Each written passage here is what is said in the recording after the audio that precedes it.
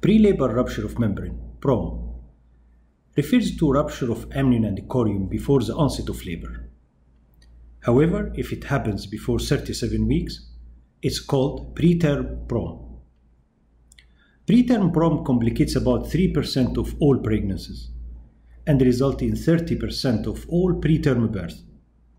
And the median latency is 7 days. Latency is the time between rupture of membrane and birth.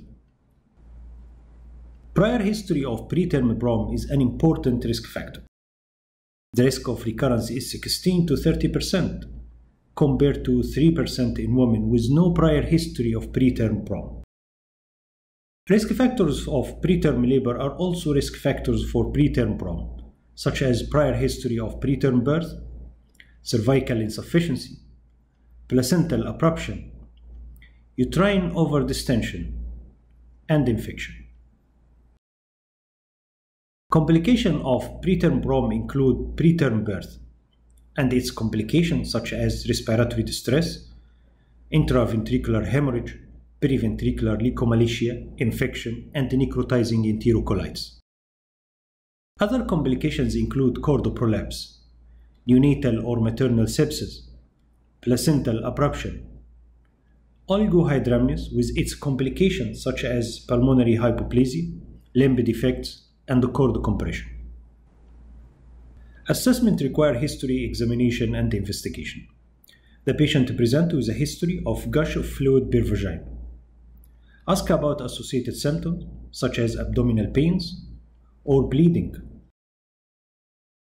Review obstetric notes to identify gestational age. The best method is early pregnancy ultrasound. It also identifies obstetric complications such as preeclampsia and diabetes. Ask about risk factors such as history of prior preterm PROM or cervical surgery. During examination, assess vital signs. Fever may indicate chorioamnionitis. Hypotension and tachycardia may indicate placental abruption. Abdominal examination identify fundal height and fetal lie, may detect abdominal tenderness, and auscultate fetal heart rate. Abdominal tenderness may indicate chorioamnionitis or placental abruption. Abnormal fetal heart rate may indicate cord prolapse. Then perform a speculum examination to visualize pooling of amniotic fluids, bleeding, cervical dilatation, and exclude cord prolapse. Avoid digital examination unless delivery is thought to be imminent. Digital examination decreases the latency period and increase the risk of neonatal sepsis. During speculum examination, if pooling of amniotic fluid is observed, don't perform any diagnostic test and start management as a case of preterm PROM. If pooling is not observed, perform testing for either insulin-like growth factor binding protein 1 or placental alpha microglobulin 1. Both are proteins present in high concentration in amniotic fluids. PAMG1, for example, is tested by AmniSure. A sterile swab is inserted into the vagina for one minute. Then placed in a vial containing a solvent for one minute. And then an AmniSure test strip is dipped into the vial. The test result is revealed by the presence of one or two lines within the next 5 to 10 minutes. One line means a negative test result. Two lines means a positive test result. No lines means invalid test. If the test result is positive, this supports the diagnosis. However, the test should be used in conjunction with clinical finding to ensure accurate diagnosis, because other causes can increase these proteins in vaginal fluids, such as vaginal bleeding, infection, or cervical manipulation. On the other side, if the test is negative, and no amniotic fluid is observed. Preterm PROM is unlikely. Advise the woman to return for reassessment if there are any further symptoms suggestive of preterm PROM or preterm labor. Don't use nitrazine to diagnose preterm PROM.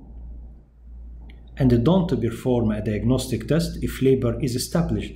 I mean the cervix is dilated 4 cm or more. The role of ultrasound assessment of amniotic fluid in supporting the diagnosis is unclear.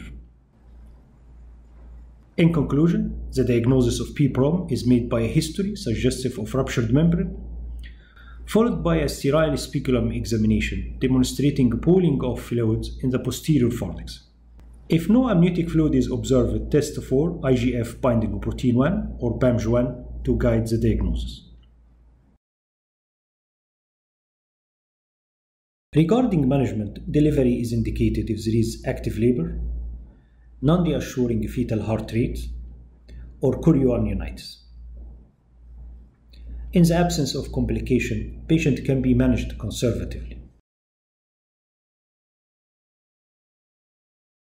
Inpatient care is indicated if delivery seems imminent. The decision to offer outpatient care should be individualized, taking into account past obstetric history, support at home, distance from hospital, and markers of delivery latency. On the other side, ACOG guideline has a clear-cut recommendation. It advises hospitalization for all cases because latency is frequently brief, infection may present suddenly, and the fetus is at increased risk of umbilical cord compression. Admit to monitor the mother and the fetus administer drugs, and deliver in a timely manner. Monitor the mother for features of chorioamnionitis, which include lower abdominal pain, abnormal vaginal discharge, fever, malaise, reduced fetal movement, increased white blood cells, and CRP. Take care white blood cells increase after steroid therapy. It increased 24 hours after steroid therapy and return after 3 days. Perform non-stress test every day to monitor fetal condition. Provide erythromycin 250 mg oral every 6 hours for 10 days or until established labor, whichever is sooner. This reduces chorioamnionitis, prolong latency, and improve neonatal outcome. On the other side, ACOG guideline recommend two days of intravenous ampicillin and erythromycin, followed by five days of oral amoxicillin and erythromycin. In Parkland Hospital, they start with azithromycin 1 gram upon admission and ampicillin intravenous for two days followed by amoxicillin oral for 5 days. Offer corticosteroid between 24 and 34 weeks and consider them between 34 and 36 weeks. Either two doses of betamethasone 12 mg intramuscular 24 hours apart or four doses of dexamethasone 6 mg intramuscular 12 hours apart. Magnesium sulfate is given for established preterm labor or planned birth within 24 hours to reduce the risk of cerebral palsy. It is offered between 24 and 30 weeks and considered between 30 weeks and 34. The dose is 4 grams loading dose, followed by 1 gram per hour infusion until birth or for 24 hours, whichever is sooner. Tocolysis is not recommended in case of preterm birth. Regarding timing of birth, offer expectant management until 37 weeks if there is no contraindication to expectant management. Vaginal delivery is safe in case of cephalic presentation. However, in breech presentation, consider caesarean section. If no other risk factor, offer either CTG or intermittent auscultation for fetal monitoring. Avoid fetal scalp electrodes and fetal blood sampling before 34 weeks. Offer intrapartum antibiotic prophylaxis for GBS.